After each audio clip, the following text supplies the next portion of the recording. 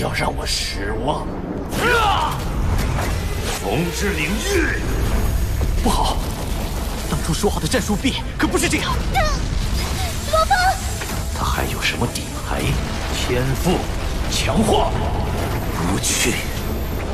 负责指挥调度的是我。你永远无法名列圣殿。你果然不寻常，留你不得。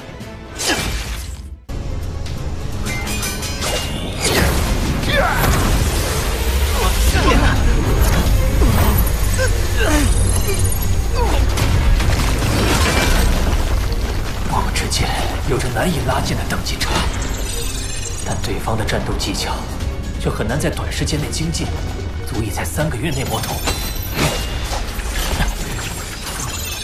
这两人合力作战带来的压迫感，恐怕已与诺兰身本尊相差无几。我们可以试百遍、千遍、万遍，只是记住他们出招的每一种变化。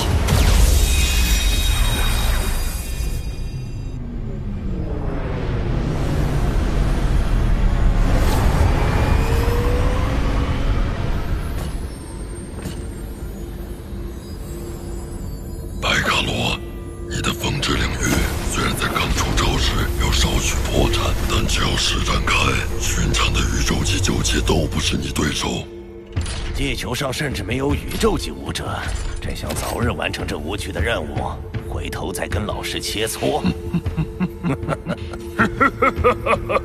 祖祖，机械族飞船的价值仅次于当初的金角巨兽。谨慎起见，我们可以先前往地球海底，得到飞船后再处置罗峰。罗峰一死，占领地球便再无阻力，宝物也会手到擒来，何必多此一举？不错，你们的第一目标是杀死罗峰，而机械族飞船可作为次要目标。明白。距离你们到达地球已经不到七十个地球日了，此前几次行动均不慎折戟，你们不可掉以轻心。老师放心，我不会因对方是恒星级就疏于修炼。倘若他们精进一分，我就精进十分。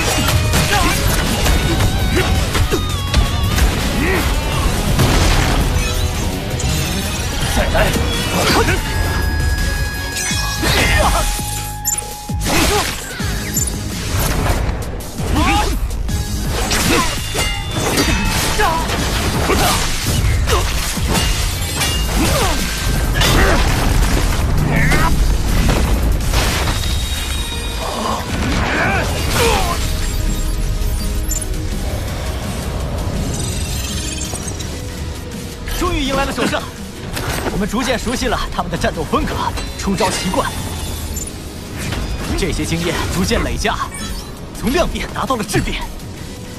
但是，就算勉强赢过德文几次，我们仍然应付不了白卡罗。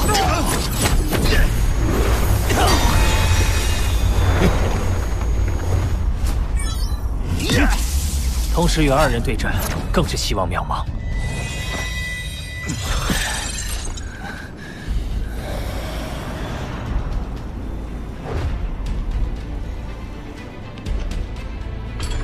所以，除了积累对战经验，还要考虑其他办法。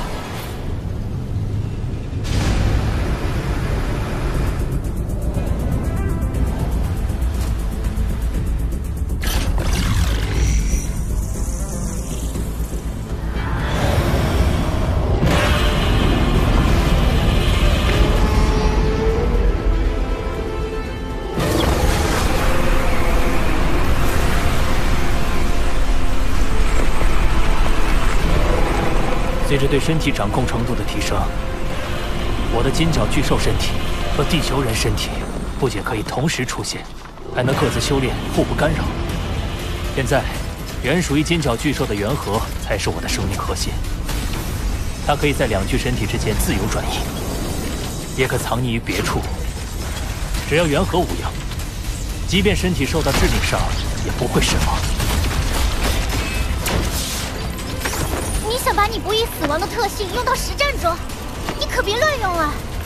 要是自身等级没突破，是收效甚微的。在经过界中界一番闯荡后。我的金角巨兽等级到了恒星级九阶，如果能突破至宇宙级，那对战白卡罗的胜率便有望破零。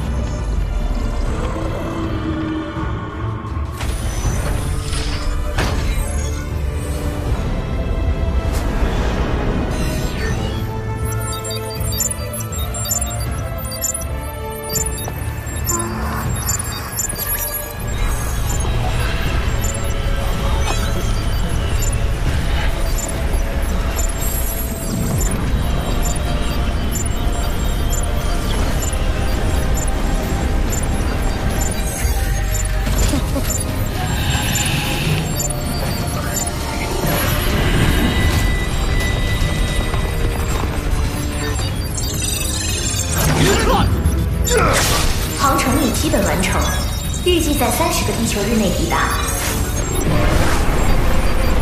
在魂印和秘法的领悟上，都到达了即将突破的瓶颈。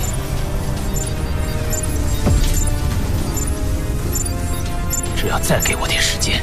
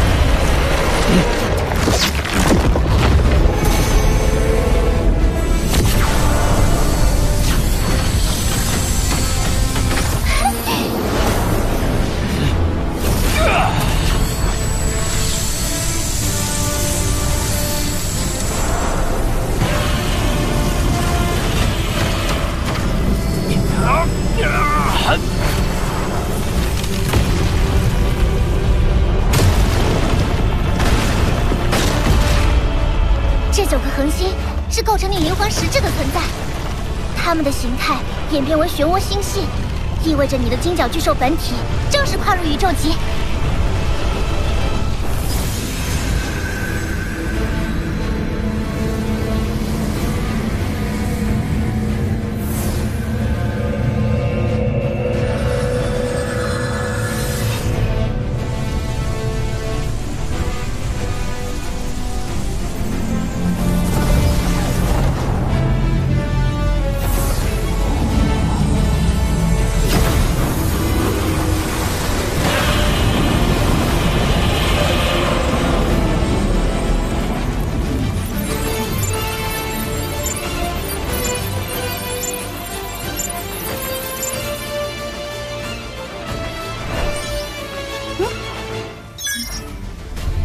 突破至宇宙级后，终于从白卡罗那儿拿下一手。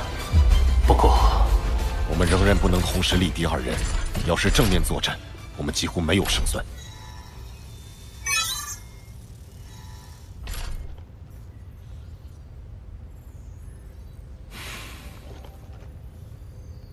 只有避免与二人同时交手，通过远程攻击，或者营造多对一的环境，才有一丝胜利的可能。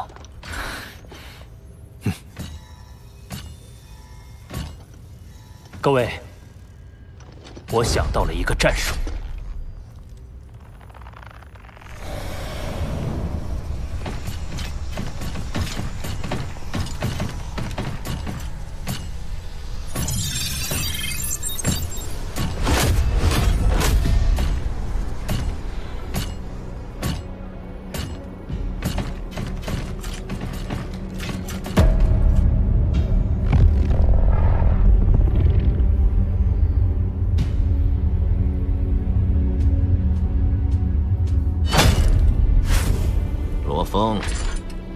虽是初次见面，但我已在杀戮空间与你们有过多次虚拟作战，结果是二百零七胜零负，很无趣的比分，不是吗？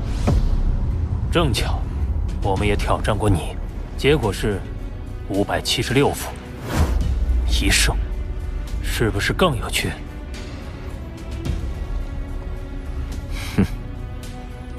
你应该认识到胜率渺茫，既如此，又为何要一直违逆诺兰山祖祖？很简单，因为我敢，你不敢，才会有此一问。拥有与实力不相称的胆量，只会加速你的死亡。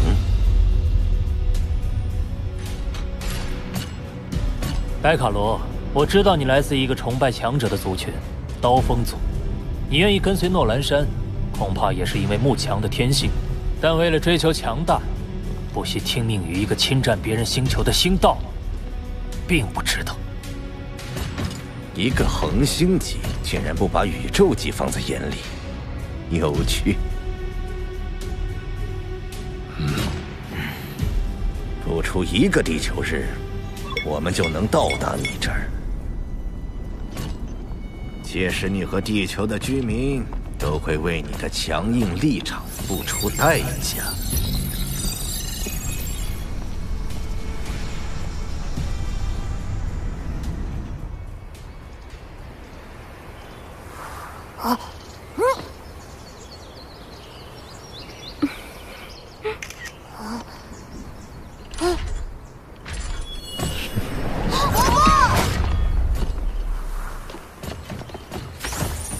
家族飞船预计还有三小时四十九分抵达地球。嗯，爸爸要出差一阵子，阿平、阿海。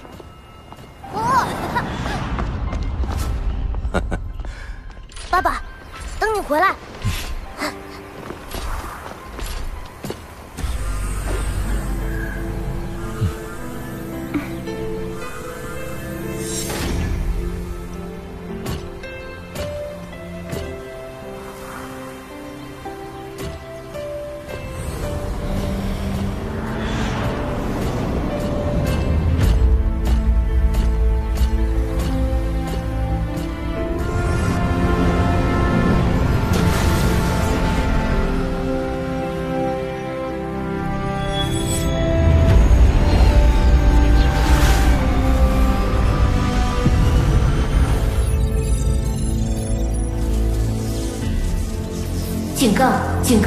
导航探测系统发现一艘 C 九级宇宙飞船正在朝我们飞来。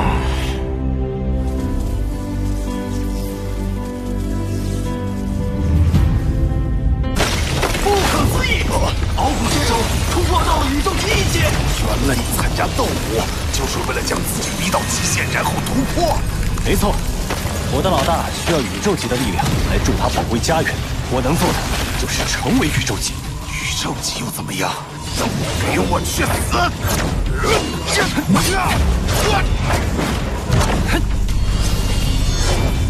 你是个不错的对手，可惜这里是巨幅斗武场。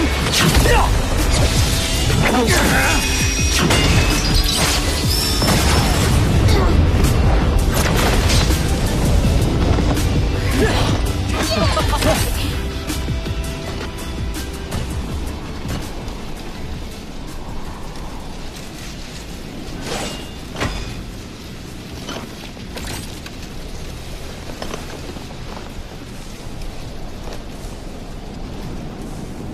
场生死战，恒星星球啊不，宇宙级一阶精神念师敖古圣。啊！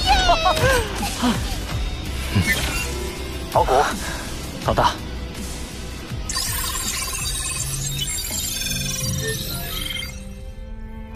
老大，敖古，你这是闷声憋大招啊，而且还突破到了宇宙级，在恒星级九阶的临界点状态，利用高压来加速突破，很出色的战术。可一旦失败，就生死殒命，具有极高危险性。巨幅斗武场都是生死决战，你辛苦了，谢谢你，敖古。所有地球人都会感激你的付出。我们一起出生入死。我早已将你们视作伙伴，你们的生物芯片已经解除，从此无需听从任何人的号令。不要说誓死，我们都要活着回去。我只是想拼一次，和老大一起守护他的家园，也将是你的家园。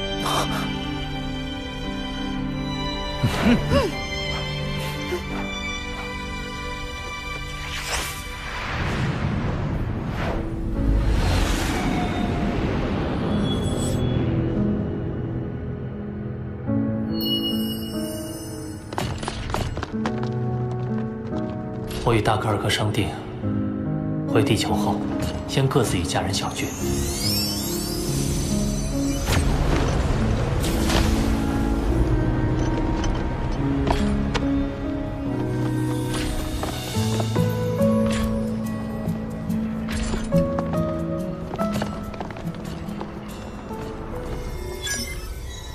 没想到诺兰山家族的侵略行动会如此迅速。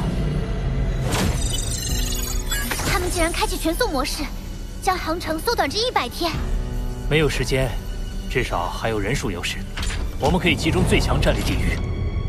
但前提是，对方只有少数宇宙级出击。我通过诺兰山家族成员在虚拟宇宙的数据，追踪到现实中的登陆地点。而位于飞船内部的是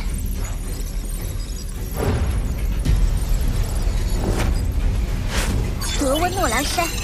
宇宙级六阶，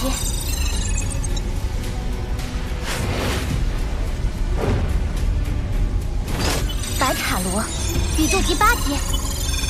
他们只派一艘飞船，恐怕是相信仅有两人也足以碾压地球一方。能遏制他们行动的，恐怕只有。